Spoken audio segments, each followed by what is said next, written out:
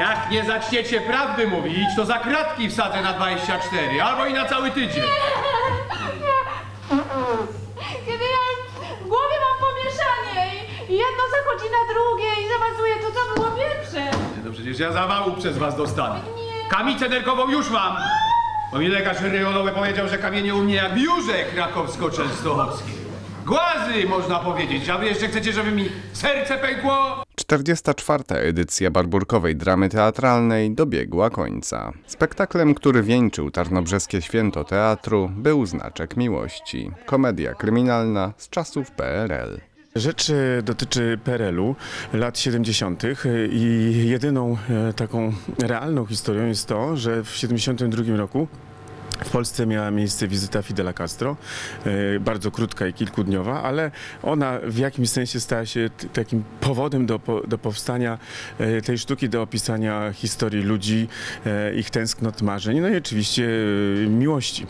Na scenie Tarnobrzeskiego Domu Kultury wystąpili Joanna Kurowska, Dorota Chotecka, Martyna Kliszewska, Lesław Żurek i Jakub Przebindowski, stały bywalec Tarnobrzeskiej Dramy Teatralnej.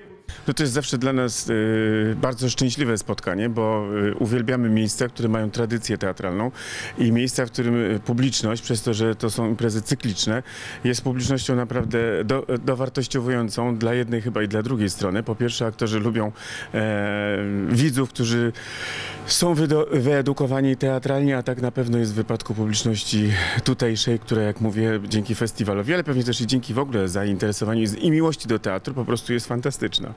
Ja do kierownika. No nie ma!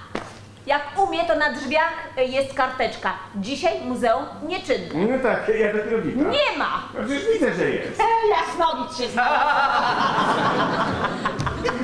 Proszę pana, proszę wyjść, dać nam pracować. Kierownika poznaję na kilometr. Po aparycji, po tym jak siedzi. No, no, no, no, no, no, no, no. Tylko nie siedzi, ale pracuje. E, proszę, halo. A jak pracuje, to tak jakby jej nie było.